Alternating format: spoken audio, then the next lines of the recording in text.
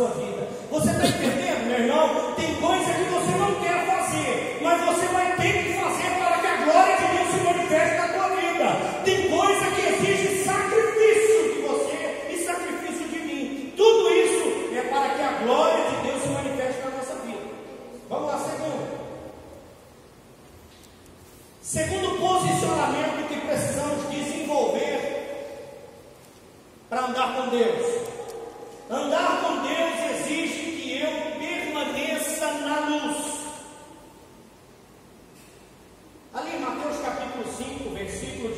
14 que diz: Vós sois a luz do mundo.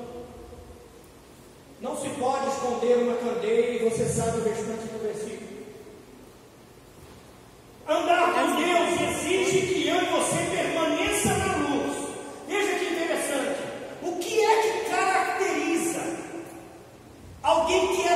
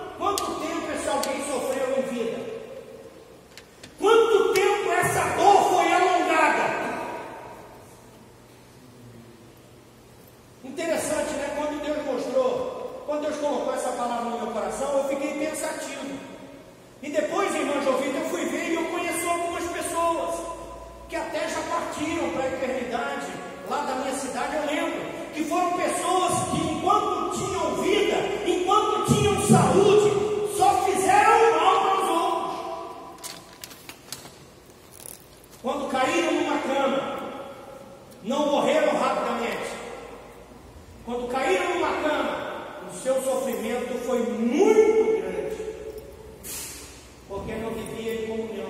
Quem não vive em comunhão bloqueia as bênçãos de Deus e prolonga o seu sofrimento. Mas vamos, vamos mais um para nós encerrar.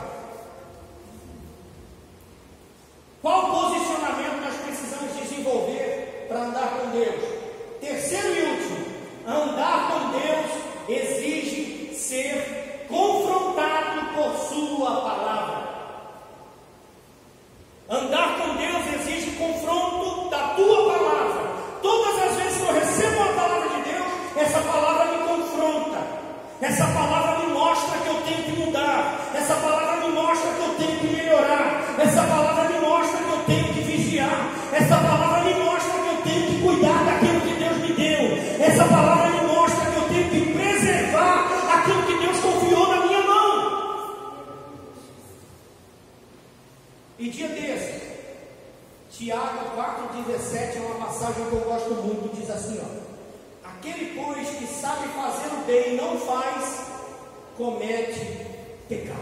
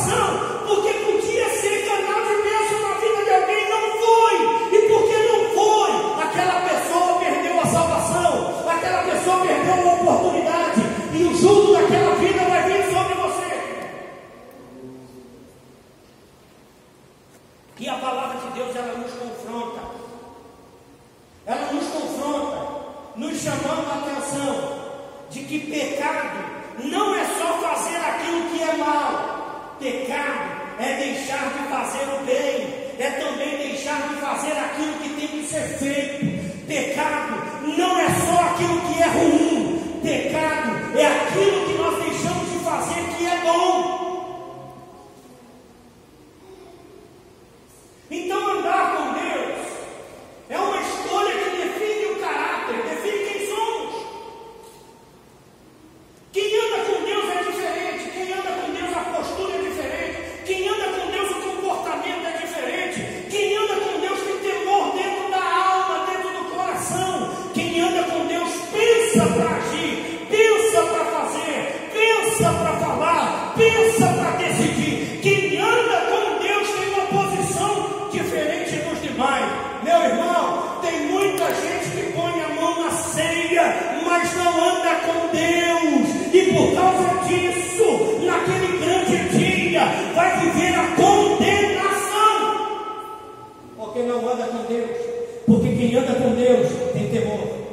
Quem anda com Deus reconhece. Quem anda com Deus se submete à vontade de Deus. Quem anda com Deus se